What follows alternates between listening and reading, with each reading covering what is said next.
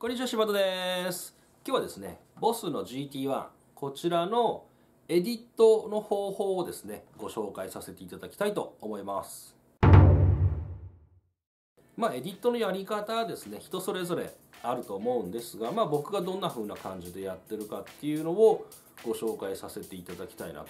まあ僕がやるのはですね、非常に簡単なやり方なので、まあ誰でもすぐに真似できることだと思いますので、ぜひぜひやっていただきたいなというふうな感じなんですけれども、まあ順番としてはですね、この GT1 に関しては、空のパッチがないんですよね。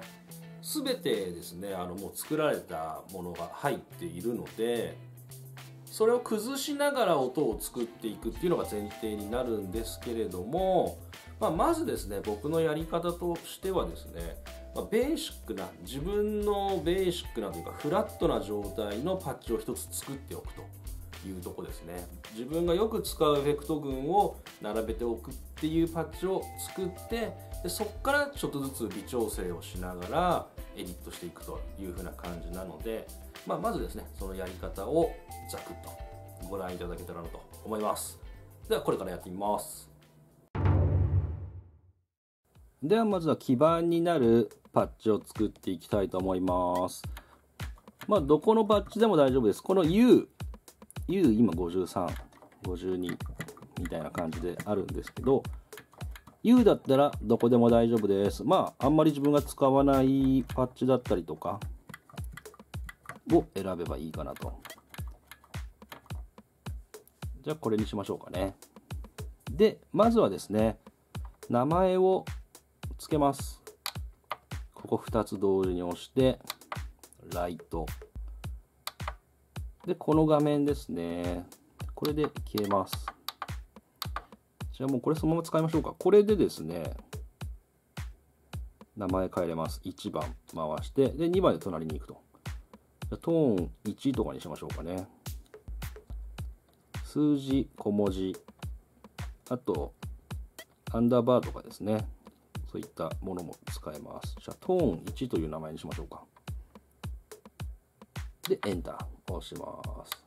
で、これで保存ですね。トーン1。じゃあ、これを自分のベーシックな基盤にしていきます。まずすべてのエフェクトを外しましょう。というふうな感じですね。で、一個一個のこのエフェクト群にですね、自分のお好みのエフェクトを入れていきます。そうすることによって、エディットするときに非常にスムーズに音作りができます。ここのメモリーエディット開いていただければわかるんですが、これがエフェクト並んでる順番ですね。FX2 ペダルオーバードライブプリアンプという風に来ております。これをちょっとね、ベーシックな形、まあよくある普通の順番にしていきたいなと思います。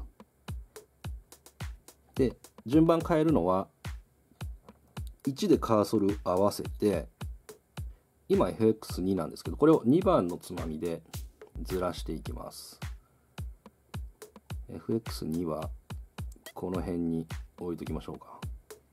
で、FX1 は一番最初に持ってきます。で、ペダル、オーバードライブ、アンプ、ノイズリダクション。で、これペダルのですね、操作ですね。これは、フットボリュームペダルになります。で、FX、ディレイ、リバーブ。まあ、こんな感じでいいかなと。あとはコントロールとかなんで、これは後ほど説明します。こういう順番にしておくと一番普通普通というかまあベタな感じなのでいいかなと思いますねじゃあまずはここの FX1 ですねここを長押ししますもう一度長押しするとエフェクト群が出てきますね1番のつまみで選べます。コンプリミッター、まあ、オートワウイコライザー系トーンモディファイでアコシュミスローギアとか入ってますが、まあ、僕がよく使うのは、まあ、コンプですね。ここはコンプにカーソルを合わせておきましょう。でコンプも種類があるんですが、まあ、ベタなボスというやつで OK です。これでコンプのオンオフがサクッとできるようになりましたね。で続いてオーバードライブ OD1 になってます。OD1 僕はよく OD1 使うんで OD1 でいいかなと。でフラットになってるんでこれもこんな感じでいいかな。うん。で続いてプリアンプ。コアメタルになってますが、まあ、僕はですね結構レクチをよく使うのでレクチのモダンにしておきます。ちょっと寄りました。レクチのモダンにして、まあ、原因を80ぐらいにしておきましょうかね。でレベルを50にしてまあこの辺のですね設定もフラットにしておくと良いでしょう。音作りがしやすいですね。まあ自分の決まった設定がある方はいつもそれにしといていいと思います。ドンシャリならドンシャリで。まあこんな感じで設定しておきます。で続いてモジュレーション FX2 モジュレーション。ここには今フェイザー入ってますね。ここで選べます。長押しして。でまあフェイザーだったりフランジャーだったりあとコーラスだったりですね。まあ自分はその辺をよく使うのでフェイザーにしておきましょうかね。でフェイザーで種類がですねいくつもあります。まあとりあえずはベタな感じにしておきましょう。こんな感じで。うん。で、続いて、ディレイと。ディレイ。まあ、スタンダードな感じで、ディレイもいくつか種類がありますが、あと、パン。長押しして、アナログだったりとか、いろいろありますが、まあ、スタンダードな形にしておいて、まあ、自分はいつもソロの時とかによく使うので、ゾロ目で、ゾロ目でいっときましょうか。まあ、レベルは50ぐらいにしといてね、フィードバック20ぐらいで、まあ、これでいっときましょう。で、リバーブ。まあ、プレイト。まあ、これはこんな感じでいいかなというところで、まず一通りの設定が終わったら、登録しておきましょう。うん。こんな感じですね。まずはここまで大丈夫でしょうか？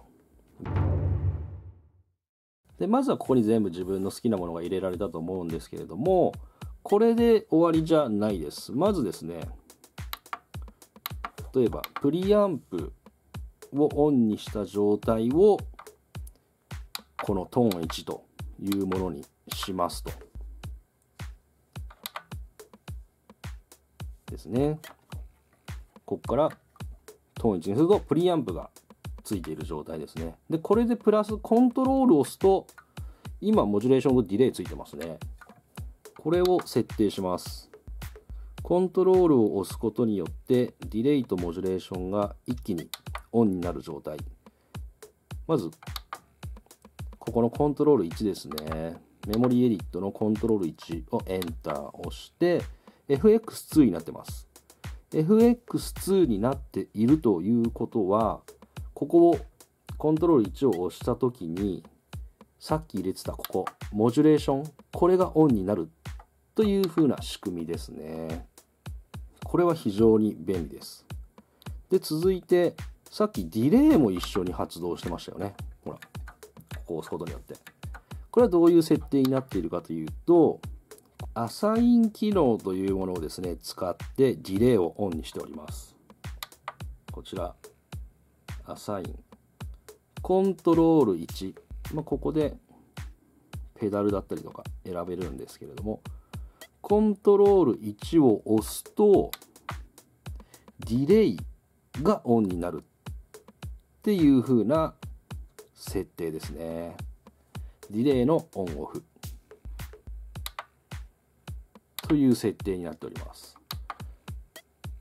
でアサイン2とかに例えばこれをオンにしてコントロール1ですね。これをオーバードライブとかにしておくと今度はブーストもかかりますね。戻ってみましょうか。コントロール1を押します。ほら。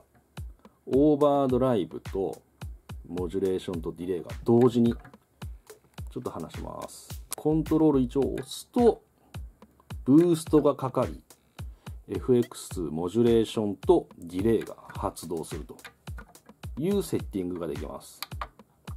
これで1回保存しておきましょう。という設定をやっておくとギターソロの時とかに非常に便利ですね。ソロになったらこういう風な感じで。押すと。でもう一個クリーンを作っておけばこっちの上下でクリーンにしてこっちで歪みと。でクリーン。歪みと。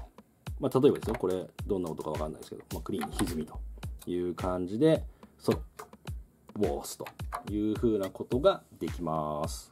でまあ基本的にはですね自分の好きなエフェクターというかよく使うエフェクターを先にまず入れておくということが非常に重要ですね。で入れておいて微調整は後ほどやれるので、まあ、ここを押したらオーバードライブ OD1 なんですけれどもまあ歪みがちょっときつすぎたなと。とかっていうのはこうやって設定をしておけば OK です。でコンプも違うのにしておきたいなとか。あとここもフェイザーじゃなくてやっぱコーラスの方が良かったなとか。コーラスコーラスはい。みたいな感じで設定をしておくとで保存ここを押した時は今度コーラスがオンになりますねというふうな感じで、まあ、ゼロから作りやすいようなパッチを一つ持っておくということが、この GT1 ではエディットのコツだと思います。というふうな感じになりました。いかがでしたでしょうか。まあ、ご覧いただいた通りですね、まずよく自分が使うエフェクトを並べておくと。で、まあ、それをこうすぐパチッと押したら機能するようにとか、稼働するような状態にしておくと自分好みの音色が作りやすいですね。まあイメージとしては一個一個あのコンパクトエフェクターを並べておくっていう風なイメージですね。まあ、この他ですね WOW のオンオフの設定だったりとかあとアサイン機能の使い方であったりっていうのは別の動画で上げておりますのでぜひぜひそちらもご覧いただけたらなと思います。備考欄に貼り付けておきます。それでは何か質問ありましたらまた Twitter だったりこちらコメント欄にいただけたらと思いますので引き続きよろしくお願いいたします。ご視聴ありがとうございました。